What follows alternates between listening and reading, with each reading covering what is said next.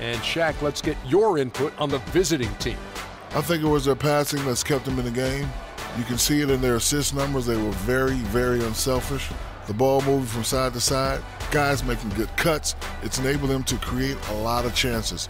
As long as they stay on the same page and keep working together, they got a great chance to take control of this game.